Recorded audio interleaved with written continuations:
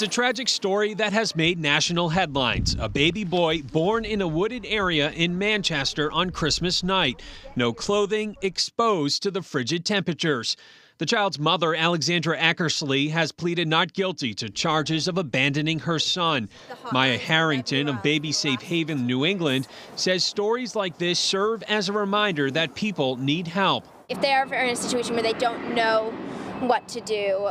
They have these resources and places they can go in case so they don't something like what happened this week does not happen again. The organization was behind a push to get safe haven laws in every New England state, which it has accomplished. Since the passage of all six New England baby safe haven laws, newborn abandonments are down 90 over 90%. New Hampshire passed its law in 2003. It allows parents to leave children under seven days old at safe havens like hospitals, police, or fire stations and churches.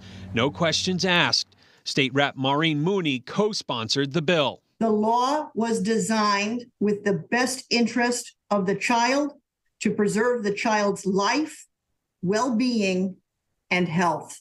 That was the intent behind the law, and it's held strong for now close to 20 years.